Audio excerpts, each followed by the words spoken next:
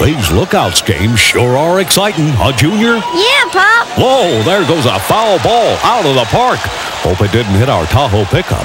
You know, new Tahoes are $189 a month with only $49 down from Herb Adcox. Maybe it hit a Ford. Well, there you go. Think positive. Oh, boy, that hot dog sure looks good. Be strong, Pop. Oh, yum, yum. I couldn't help it, son. I'm a meat eater, not a parakeet.